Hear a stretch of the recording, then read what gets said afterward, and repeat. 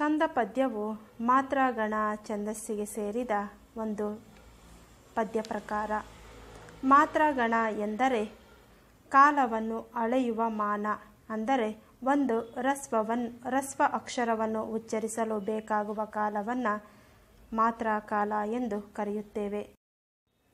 ಕಂದ ಪದ್ಯದ ಲಕ್ಷಣಗಳು. ಮೊದಲನೆಯದು, ಇದು ನಾಲ್ಕು ಪಾದಗಳಿಂದ ಕೂಡಿರಬೇಕು. ಎರಡನೆಯ ಲಕ್ಷಣ ಒಂದು ಮತ್ತು ಮೂರನೆಯ ಪಾದಗಳು ಪರಸ್ಪರ ಸಮವಾಗಿದ್ದು ನಾಲ್ಕು ಮಾತ್ರೆಗಳ ತಲಾ ಮೂರು ಮೂರು ಗಣಗಳಿರಬೇಕು. ಮೂರನೆಯ ಲಕ್ಷಣ ಎರಡು ಮತ್ತು ನಾಲ್ಕನೆಯ ಪಾದಗಳು ಪರಸ್ಪರ ಸಮವಾಗಿದ್ದು ನಾಲ್ಕು ಮಾತ್ರೆಗಳ ತಲಾ ಐದೈದು ಗಣಗಳಿರಬೇಕು. ನಾಲ್ಕನೆಯ ನಾಲ್ಕನೆಯ ಲಕ್ಷಣ ಪ್ರತಿ ಪಾದವು ಆದಿಪ್ರಾಸದಿಂದ ಕೂಡಿರಬೇಕು.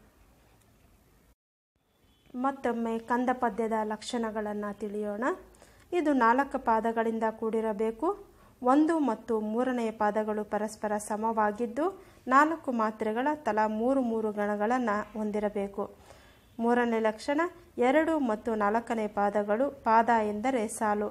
ಪರಸ್ಪರ ಸಮವಾಗಿದ್ದು, ನಾಲ್ಕು ಮಾತ್ರೆಗಳ ತಲಾ ಐದೈದು ಗಣಗಳು ಇರಬೇಕು. ನಾಲ್ಕನೆಯ ಲಕ್ಷಣ ಪ್ರತಿ ಪಾದವು ಆದಿಪ್ರಾಸದಿಂದ ಕೂಡಿರಬೇಕು. ಆದಿಪ್ರಾಸ ಎಂದರೆ ಪದ್ಯದ ಮೊದಲನೇ ಸಾಲಿನ ಮೊದಲನೇ ಸಾಲಿನ ಅಕ್ಷರಗಳು ಪ್ರಾಸಾಕ್ಷರದಿಂದ ಕೂಡಿರಬೇಕು.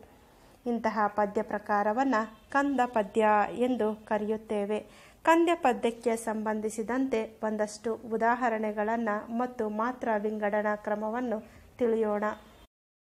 ಇಲ್ಲಿ ಕವಿರಾಜ ಮಾರ್ಗ ಕೃತಿಯಿಂದ ಆಯ್ದುಕೊಂಡ ಒಂದು ಸಣ್ಣ ಪದ್ಯವನ್ನು. ಕಂದ ಪದ್ಯಕ್ಕೆ ಉದಾಹರಣೆಯಾಗಿ ತೆಗೆದುಕೊಳ್ಳಲಾಗಿದೆ. ಪದ್ಯ ಹೀಗಿದೆ. ಕಾವೇರಿಯಿಂದ ಮ ಗೋದಾವರಿ ವರ ಮಿರ್ದನಾಡದ ಕನ್ನಡದೊಳ್ ಭಾವಿಸಿದ ಜನಪದ ವಸುಧಾವಳ ವಲಯ ವಿಲೀನ ವಿಷದ ವಿಷಯ ವಿಶೇಷಂ. ಇದು ಪದ್ಯ. ಪದ್ಯ ಮತ್ತೊಮ್ಮೆ ಕಾವೇರಿಯಿಂದ ಮಾ ಗೋದಾವರಿ ವರಮಿರ್ದನಾಡದ ಕನ್ನಡದಳ್ ಭಾವಿಸಿದ ಜನಪದ ವಸುಧಾವಳ ವಲಯ ವಿಲೀನ ವಿಷದ ವಿಷಯ ವಿಶೇಷಂ. ಇದೊಂದು ಹಳೆಗನ್ನಡ ಪದ್ಯ. ಕವಿರಾಜ ಮಾರ್ಗ ಕೃತಿಯಿಂದ ಆಯ್ದುಕೊಳ್ಳಲಾಗಿದೆ. ಇದನ್ನು ರಚಿಸಿದವರು ಶ್ರೀ ವಿಜಯ ಕನ್ನಡದ ಪ್ರಪ್ರಥಮ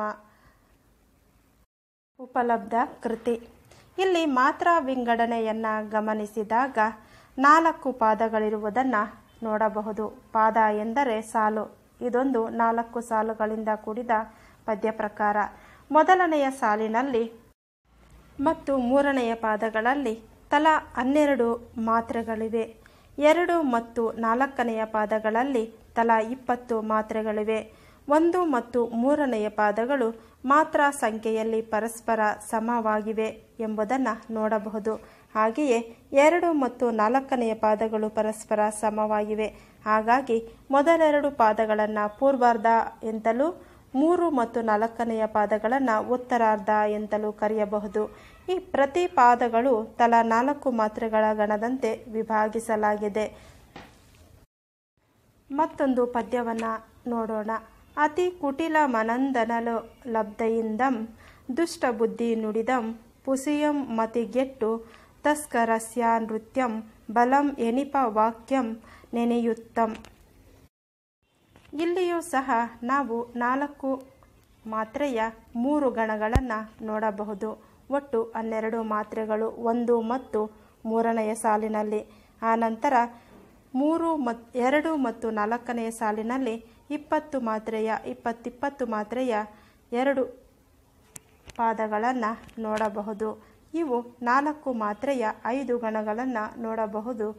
ಎರಡು ಮತ್ತು ನಾಲ್ಕನೆಯ ಪಾದಗಳಲ್ಲಿ. ಇದು ಸಹ ನಾಲ್ಕು ಪಾದಗಳುಳ್ಳ ಪದ್ಯ. ಒಂದು ಮತ್ತು ಮೂರನೇ ಪಾದಗಳು ಸಮನಾಗಿದ್ದು ನಾಲ್ಕು ಮಾತ್ರೆಗಳ ಮೂರು ಮೂರು ಗಣಗಳಿಂದ ಕೂಡಿವೆ. ಎರಡು ಮತ್ತು ನಾಲ್ಕನೆಯ ಪಾದಗಳು ಸಮನಾಗಿದ್ದು ನಾಲ್ಕು ಮಾತ್ರೆಗಳ ಐದೈದು ಗಣಗಳಿವೆ. ಹೀಗಾಗಿ ಒಂದು ಮತ್ತು ಎರಡನೆಯ ಪದಗಳು ಪೂರ್ವಾರ್ಧವೆಂತಲೂ, ಮೂರು ಮತ್ತು ನಾಲ್ಕನೆಯ ಪಾದಗಳು ಉತ್ತರಾರ್ಧವೆಂತಲೂ ಕರೆಯಲ್ಪಡುತ್ತೇವೆ. ಕರೆಯಲ್ಪಡುತ್ತವೆ. ಮತ್ತೊಂದು ಪದ್ಯ, ಕಂದ ಪದ್ಯವನ್ನು ನೋಡೋಣ. ಒಡೆಯಲ್ ಜಾಂಡಂ ಕುಲಗಿರಿ ಕೆಡೆಯಲ್ ನಡುಗಲ್ಕೆ ದಾತ್ರಿ ದಿವಿಜರ್ ಸೆಡೆಯಲ್ ಕೊಡರಿಸಿ, ವಿನಂ ಜಟಾಸುರ ಇಡಿಂಬಕವೈ ಹರಿಸಿಂಹ ನಾದಂ ಗೈದಂ. ಇಲ್ಲಿಯೂ ಸಹ ನಾಲ್ಕು ಪಾದಗಳುಳ್ಳ ಪದ್ಯವನ್ನು ನೋಡಬಹುದು. ಒಂದು ಮತ್ತು ಮೂರನೆಯ ಪಾದಗಳು ಸಮನಾಗಿದ್ದು ನಾಲ್ಕು ಮಾತ್ರೆಗಳ ಮೂರು ಮೂರು ಗಣಗಳಿಂದ ಕೂಡಿವೆ. ಎರಡು ಮತ್ತು ನಾಲ್ಕನೆಯ ಪಾದಗಳು ಸಮನಾಗಿದ್ದು ನಾಲ್ಕು ಮಾತ್ರೆಗಳ ಐದೈದು ಗಣಗಳಿರುವುದನ್ನು ಗಮನಿಸಬಹುದು. ಹೀಗಾಗಿ ಒಂದು ಮತ್ತು ಎರಡನೆಯ ಪಾದಗಳು ಪೂರ್ವಾರ್ಧವೆಂತಲೂ ಮೂರು ಮತ್ತು ನಾಲ್ಕನೆಯ ಪಾದಗಳು ಉತ್ತರಾರ್ಧವೆಂತಲೂ ಕರೆಯಲ್ಪಡುತ್ತವೆ. ಹೀಗೆ ಕಂದ ಪದ್ಯದಲ್ಲಿ ಒಟ್ಟು ಅರವತ್ನಾಲ್ಕು ಮಾತ್ರೆಗಳಿರುವುದನ್ನು ಗಮನಿಸಬಹುದು.